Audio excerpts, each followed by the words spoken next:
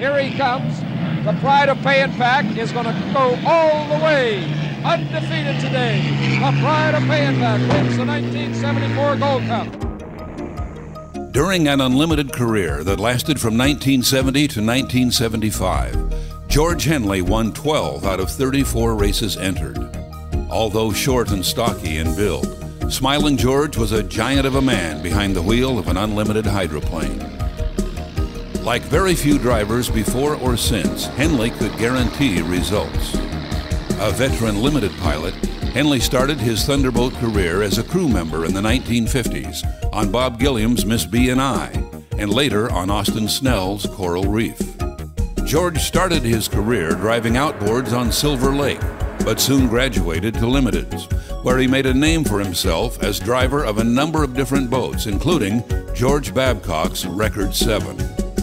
George's first unlimited ride was the Burien Lady, a former Notre Dame owned by Bob Murphy, a modest budget notwithstanding. George, you made a great name for yourself driving the uh, the limiteds, winning a national championship in the 225 class. What do you find is the big uh, difference between driving the smaller boats and uh, and now the biggies? Is, is the uh, is making an analogy between minor leagues and, and, the big leagues? Is that proper? Yeah, it is. It's a lot different. Um, the uh, boat is bigger and uh, going 150 165 miles an hour. Um, it's just uh, I'm find myself watching the engine more, and uh, you have to drive it differently. The little boat you just hold wide open all the way, and the big one, I think I've been told that uh, you'll blow, they'll blow engines, and we did blow a couple. We threw two rods, but it was due to weak rods. But uh, that's a big difference. Last week, I think I got the feel of it real well, and uh, it feels a lot more like my little one all the time. What's the difference in, this year in George Henley as a driver? Is it getting the feel of the boat, getting uh, to uh, getting used to the faster speeds, or what? Uh, getting used to the boat, I think. Getting the feel of the boat. It's starting to all fall into place now, I think. I think we're ready. Henley raised many eyebrows when he finished a strong second in the 1970 Seattle Seafair Regatta. He won the final heat and defeated the overall winner, Miss Budweiser, with Dean Chenoweth in the process. George spent 1971, 72, and part of 73 in Bob Fendler's Lincoln Thrift 7 and a quarter percent special. His best finish was a second place in the 1973 Champion Sparkplug Regatta at Miami. He finished out the 73 season driving the Redman 2 for Jim McCormick. Then came the historic 1974 racing season, when Henley joined forces with Dave Heerensperger and crew chief Jim Lucero on the Winged Wonder Pay Pack, which was the boat that had popularized the horizontal stabilizer wing in unlimited racing. After paying his dues with the budget teams, George finally had a ride that was equal to his ability. The Winged Wonder had won four out of nine races and the National High Point Championship in 1973, with Mickey Remund as driver. It was up to Henley to do it all over again. In his first appearance with the Rolls Royce Merlin powered Pay 'n Pak at Miami, George experienced mechanical difficulty after winning both of his preliminary heats. But a week later in Washington, D.C., Henley won the President's Cup on the Potomac River he defeated the likes of Bill Muncey and Atlas Van Lines, Leif Borgersen in the turbine powered U 95, and Howie Benz in Miss Budweiser. There could be no doubt about it. George had achieved the big time. He followed this with victories at Owensboro, Kentucky, the Tri Cities, Washington, Seattle, Washington, Dayton, Ohio, San Diego, California, and Madison, Indiana.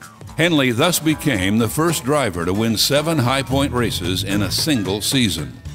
So we got a heck of a boat race. One, two, one, two. Going into that north turn, slamming out at the end of lap one. So the Budweiser is coming on the inside. She's got the lead on the outside. George Henley in the Pay 'n Pak. Just the gauging crowd appreciates the, it. Just gauging the crowd reaction. They're loving it.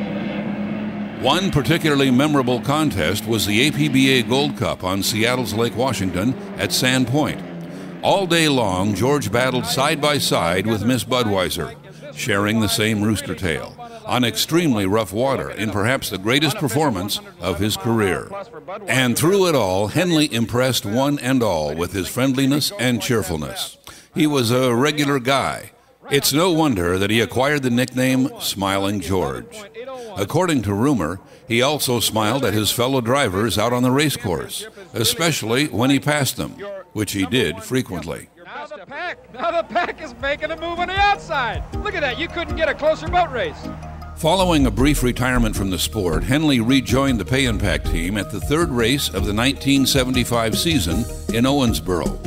In the short time that George had been away, the Weisfield, chauffeured by Billy Schumacher, had garnered most of the glory and appeared to be a likely bet to unseat Pay Pack from its national championship throne.